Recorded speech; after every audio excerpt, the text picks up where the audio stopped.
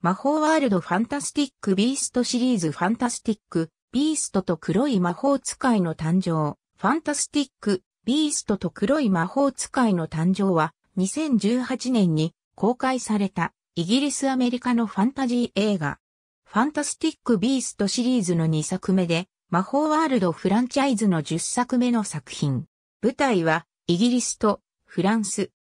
全世界の累計発行部数が約4億5千万部を超え、映画シリーズも全世界興行収入が約77億ドルを記録している人気小説、ハリーポッター映画シリーズのスピンオフ、ファンタスティック・ビーストシリーズの2作目。原作は J.K. ローリングの幻の動物とその生息地。原作者のローリングは本作の脚本も担当している。監督は映画ハリーポッターシリーズの5作目、不死鳥の騎士団から8作目、死の秘宝パート2までと、前作、ファンタスティック、ビーストと魔法使いの旅を監督したデビッド・イエーツ。出演は、エディレット・メイン、キャサリン・ウォーターストン、ダン・フォグラー、アリソン・スドル、エズラ・ミラー、ゾーイ・クラビッツ、ジョニー・デップらが続投し、後に、ハリー・ポッターが入ることになる、ホグワーツ魔法魔術学校の校長、アルバス・ダンブルドア役に、ジュードローが新たに出演している。日本公開時のオフィシャルアンバサダーを芦田愛菜が務めた。2020年11月13日、日本にて地上波初放送される。1927年、前作で捉えられたゲラート・グリンデルバルドは、欧州への移送の最中、脱獄に成功する。同じ頃、ニュート・スキャマンダーは旅行禁止命令解除の条件として英国魔法省への入賞を求められるが難色を示す。ニュートの元同級生、リタレストレンジと婚約中の兄、テセウス・スキャマンダーは、帰職を決めるべきだと進め、また、ニュートに尾行がついていることを知らせる。ニュートは、ロンドンで、恩師アルバス・ダンブルドアと再会し、クリーデンス・ベアボーンやグリンデルバルドの追跡を余儀なくされる。そこに、米国からクイニー・ゴールドスタインが恋人で暇法族のジェイコブ・コワルスキーを伴って現れる。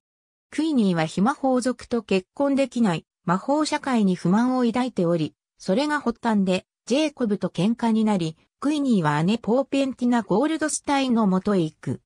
ニュートはクリーデンスを追うティナを探しに、ジェイコブはティナの元に行ったクイニーを追って、ポートキーを使ってパリへ密出国する。パリではグリンデルバルドは新拠点を築く。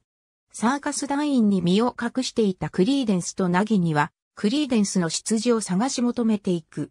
ティナは、クリーデンスの出自の鍵を握るユスフ・カーマを追跡するが、逆に捕らえられる。ニュートとジェイコブは、ティナを助けるとユスフから謎を聞き出そうとする。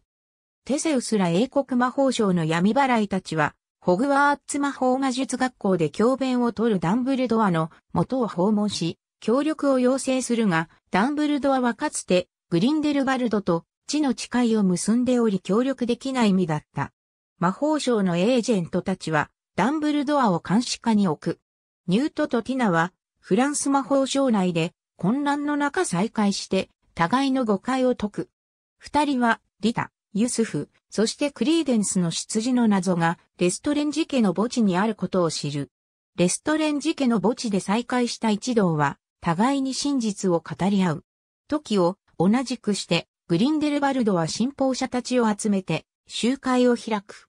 暇法族の存在は肯定しつつ、暇法族が引き起こす戦乱の恐怖を煽り、言葉巧みに魔法族の正当な権利の拡大を訴える。その様子を監視していた魔法省エージェントが過剰防衛で集会参加者を殺害すると一斉に非難が起こる。グリンデルバルドは魔法省側に非があることを懸伝するよう呼びかけ、参加者はそれぞれの地域へ帰っていく。グリンデルバルドは青い炎を出し、クリーデンスやクイニーはグリンデルバルドへの忠誠を誓い、炎の中へ入っていく。戦いの中でリタも命を落とす。ニュートやテセウスたちは、ダンブルドアの旧友ニコラス・フラメルの力も得て、パリを崩壊から救う。ニュートも魔法省入りを決心し、テセウスと抱き合う。魔法省エージェント、ナギに、ユスフ、そしてニュートたちは英国に戻ると、ダンブルドアの元へ行き、集会の最中ニュートの買う、ニフラーが盗み出したグリンデルバルドの地の誓いの小瓶を渡す。誓いを解くことが可能になると、魔法省のエージェントは、ダンブルドアの監視を解く。闇の魔法使いたちとの対決は、刻々と迫る。一方のグリンデルバルドは、オーストリアの山岳にある居城、ヌルメンガードで、クリーデンスに彼の本名を教える。